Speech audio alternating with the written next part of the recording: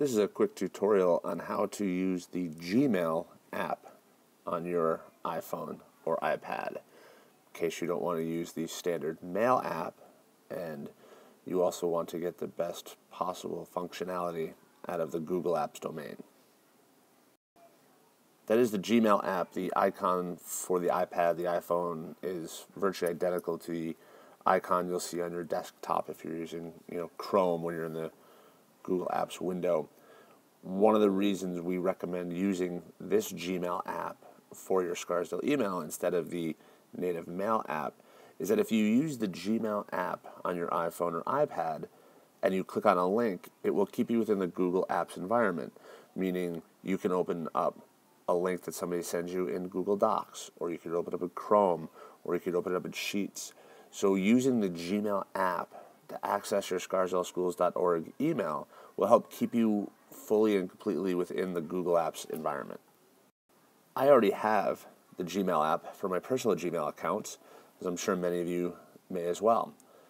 So up there in the top left, you will notice I have my avatar for my personal Gmail account.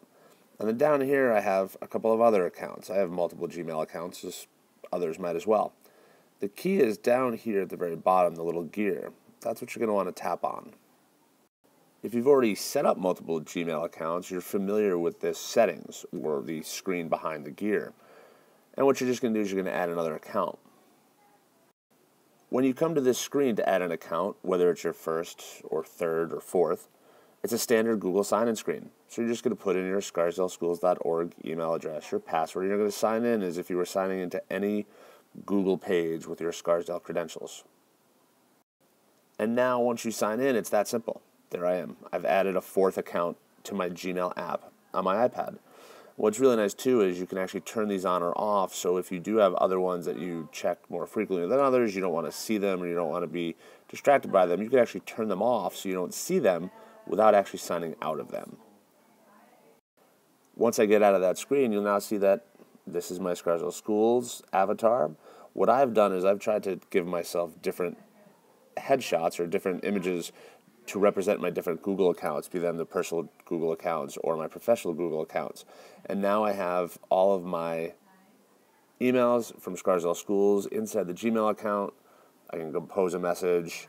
I have my files and folders are going to be under this little drop down arrow, and I have full access. And that's it.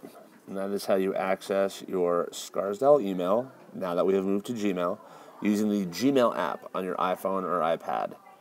And for more tutorials, you can check out the scarsdaleschools.org page. Thank you.